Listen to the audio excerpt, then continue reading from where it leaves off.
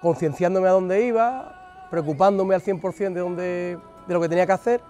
Y mire, gracias a Dios pues ha salido maravillosamente. Yo dentro del flamenco pues ya tengo mi nombre, me conoce mucha gente, pero bueno, el concurso es tan mediático que a nivel nacional se repercute mucho en otro tipo de gente que a lo mejor tiene más desconocimiento y entonces abren más campo a nivel nacional e internacional también.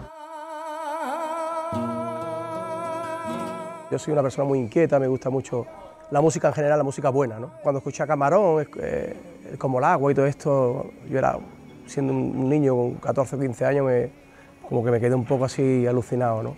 Y fue lo que me hizo meterme de lleno en el flamenco.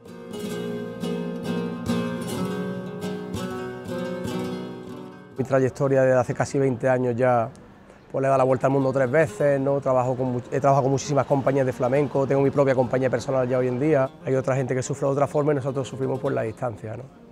Pero bueno, una gira maravillosa, muy bonita, que hemos estado con Eva Buena, hemos estado por, por Tokio, por Osaka, Hong Kong, Shanghái, Suzhou y hemos terminado en Dubái.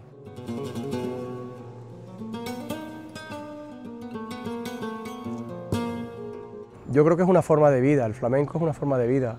Yo me levanto flamenco no solo cuando estoy en, el escenario, cuando estoy viajando, por ejemplo la soleá, ¿no? para mí es un cante que a mí me, por, el, sentimiento que tiene, por la transmisión, ¿sabes? Es algo tan, tan profundo que creo que a cualquier persona le, le llega al alma. ¿no? Es un arte de minoría, entonces lo único que hay que hacer es cantar, disfrutar, ser feliz.